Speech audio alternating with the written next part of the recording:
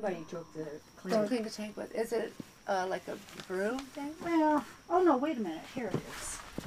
Here. This oh, is there we go. this is for cleaning the uh, pool out. And then how do you hook that up? Well, it, you hook that up to a hose. A garden hose? Yeah. Okay. And and I seems like I put it on. Um, I used that that pole Uh huh. that thing, and that's how I did that. Great. And then what is this other this Yeah, this end this- goes to the Yeah, this goes. there's the frog, Marilyn. I got you. Okay. Well, just like under there I'll probably It get it. hooks up somehow Right to here. this. How this goes. I can't remember how this goes. You'd have to look it up online. You know what? We can figure it out. Okay. Yeah. No I problem. think it's like And something that's to like. clean uh, whatever's on the bottom off, right? Right. Yeah, and the sides. You can probably run it on the sides Yeah. too. Okay. And then there's our pump. Yeah. And it looks like a pretty new pump It there. is a new pump. It's beautiful. Yeah, because And so anything in here that we maintenance, anything that we shut off or turn on in here? Oil grease. Well, now I don't Maintenance. know. I don't think there's anything that has to. You just have to. Um, if you ever hear the pump There it is. running, oh yeah.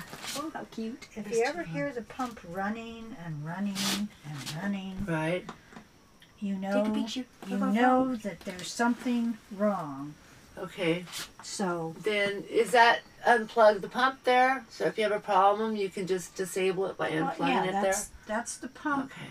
Power.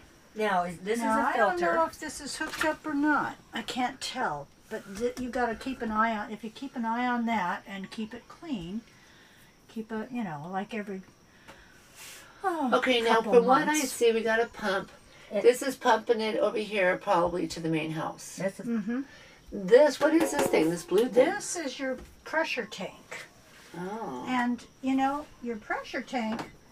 You always want to get as big of a tank as you possibly can because, It's your water pressure. well, not just that, Okay. but your pump won't go on as often.